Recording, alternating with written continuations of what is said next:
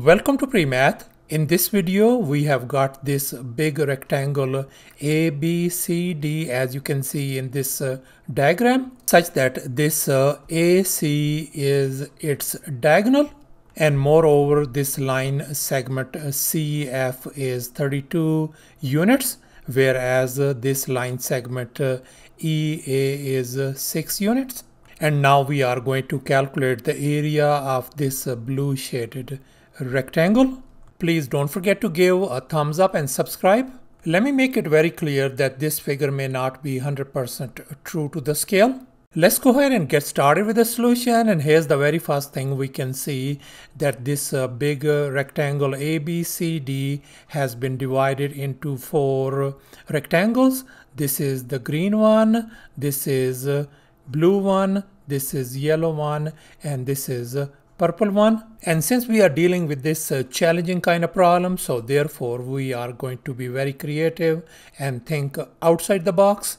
And now we can see that this uh, side length of this uh, green rectangle is uh, 32 units. So therefore this uh, side length is going to be 32 units since this side length is 32 units as well. Likewise, let's focus on this uh, yellow rectangle. The side length, uh, this one is uh, 6 uh, units. So this side length is going to be 6 units. So therefore, this uh, side length is going to be 6 units as well. And here's our next step. Let's focus on this uh, purple rectangle.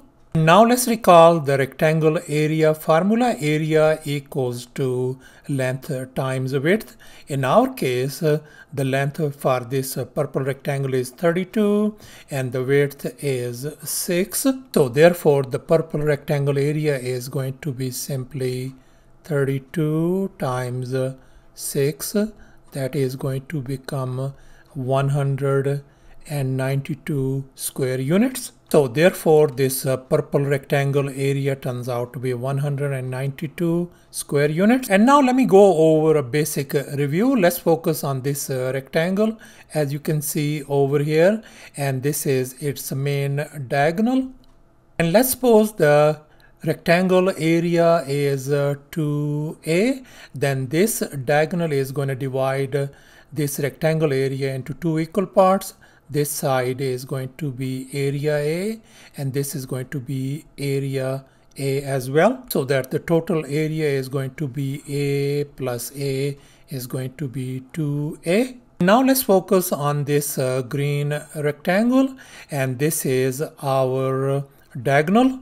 So therefore this diagonal is going to divide this green rectangle into two equal areas. Let me call this area x, then this area is going to be x as well. Now let's focus on this uh, yellow rectangle and we can see that this is uh, the diagonal over here as well. So therefore this diagonal is going to divide the area of this uh, yellow rectangle into two equal parts as well. Let me call this area y, then this area is going to be y as well. Let me call the area of this uh, blue rectangle as an uppercase A. Now let's focus on this big rectangle ABCD and we can see that AC is its uh, diagonal. Therefore, this diagonal AC is going to divide the area of this uh, big uh, rectangle ABCD into two equal parts and the first part is going to be this uh, whole uh, combined area that is how much? A plus x plus y. Let me go ahead write down. A plus x plus y. And the other part is uh, this uh, combined area below this diagonal. That is going to be x plus y plus 192 let me go and write down x plus y plus 192 and now we know that this uh, area the combined area must be equal to this uh, combined area. So let me go ahead and equate them. I'm going to write down a plus uh, x plus y equal to x plus y plus 192 192. This is our this area on the left hand side and this is our area on the right hand side.